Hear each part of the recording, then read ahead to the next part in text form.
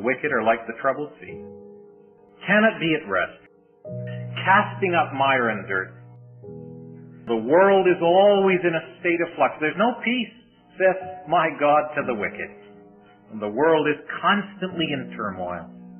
Now here's a man by the name of Lot. And he goes into Sodom. I don't know what he thought he was going to do in Sodom.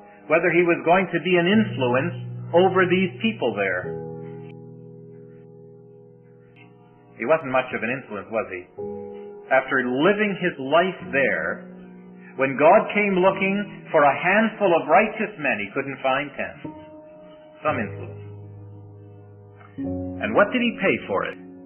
Daily vex with the ungodly conversation lifestyle of the wicked. That's the price. You try to fit in with the world system, and you will discover its disturbance in your life. he says, That's not your territory. It's from those places. That's what it says, isn't it? From there. And that's where we are today. Separated away from this, out of the land of no pasture. We've been brought into the presence of the King. We have been provided with everything that God has for us. Why is it that we look over the fence at that grass we think is greener say, well, the world, I, I know, I'm suffering for the Lord. I'm, I'm, I'm doing without this, and someday there's going to be pie in the sky by and by. But right now, I just have to close my eyes to it all. I guess I just can't have it. Too bad. What a sham the world is.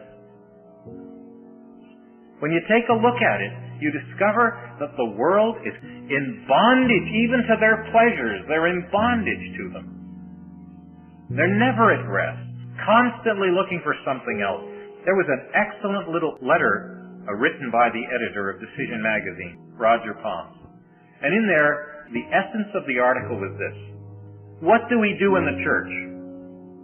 When people come in from the world, they're hungry, they're dissatisfied, and what do we do? We try to imitate the world.